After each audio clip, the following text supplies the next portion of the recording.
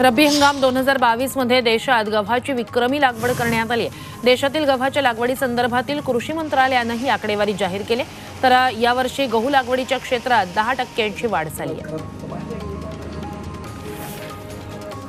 कर्जत तालुक्यात यंदा भात उत्पादनात वाढ झाली आहे. यावर्षी कमी दिवसात अधिक उत्पादन देणारं सुधारित भात जाती बियाणांची शेतकऱ्यांनी लागवड केली आहे. त्यामुळे भाताचं उत्पादन वाढलंय. यावर्षी तालुक्यात नऊ हजार एकशे दहा हेक्टरवर भात लागवड झाली आहे. उत्पादनात वाढ झाल्यानं भात उत्पादक शेतकरी आनंदात आहेत. भंडाऱ्यात धान पिकाची मळणी करताना अचानक ट्रॅक्टरला आग लागली. आगीत चार एकर धान पीक जळून खाक झालंय. लाखांदूर तालुक्यात ही घटना घडली आहे. धान मळणी मशीनही आगीत सापडल्यानं शेतकऱ्याचं मोठं नुकसान झालंय. धुळ्यात गुन्हेगारी आणि चोरीच्या घटना नियंत्रणात आणण्यासाठी पोलिसांनी रात्री कोम्बिंग ऑपरेशन सुरू केलंय. या माध्यमातून शहरातील बहुतांश वाहनांची रात्री तपासणी करण्यात येते. नियमांचं पालन न करणाऱ्या वाहन चालकांवर दंड आकारला जातोय. धुळे शहरातील माधव कॉलनी परिसरात एका व्यापाऱ्याच्या डोळ्यात मिरची पुडू टाकून तेवीस लाखाची लूट केल्याची धक्कादायक घटना घडली. आहे घटनेनंतर पोलिसांनी संपूर्ण शहरात नाकाबंदी केली. प्रत्येक वाहनाची तपासणी केली जाते मुंबईतल्या अंधेरी पूर्व पश्चिम भागाला जोडणारा गोखले पूल सोमवारपासून बंद करण्यात आलाय. मात्र आठवड्याभरात हा पूल सुरू करावा अशी मागणी करत शिवसेनेच्या ठाकरे गटानं आंदोलन केलं.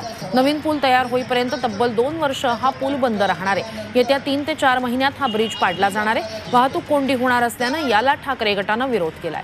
या ठिकाणच्या स्थानिक पोलीस स्टेशनला एक नोंद करू अकोला निमकरदा शेगाव रस्त्यावर निर्मितीचं काम जलद गतीनं करण्याच्या मागणीसाठी नागरिकांनी नीट मल्टीटेक कंपनीला कुलूप लावून आंदोलन केलं. रस्त्याचं काम जलद गतीनं होत नाहीये तोपर्यंत आंदोलन सुरूच ठेवण्याचा इशारा यावेळी आंदोलकांनी दिला.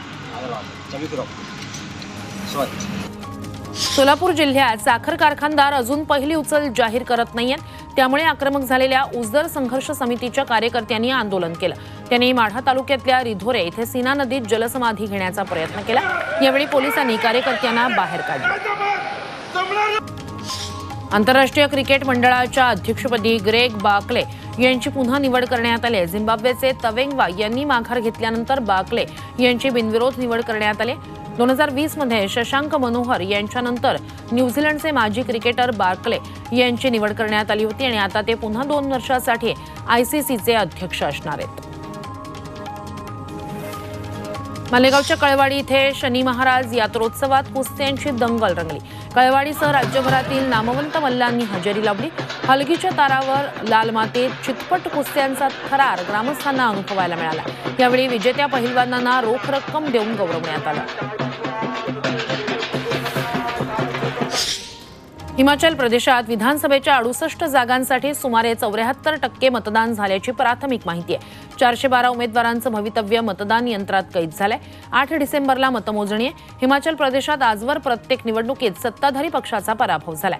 त्यामुळे यावेळीही मतदार हा शिरस्ता पाळणार की विद्यमान सरकारलाच पुन्हा संधी देणार याची उत्सुकता आहे. जगातील सर्वाधिक उंचीवरचं मतदान केंद्र अशी हिमाचलमधल्या ताशी गँग मतदान केंद्राची ओळख आहे.